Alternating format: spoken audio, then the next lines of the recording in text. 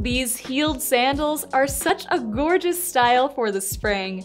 I'm obsessed with this baby blue colorway, which I think would look fantastic paired with a white sundress.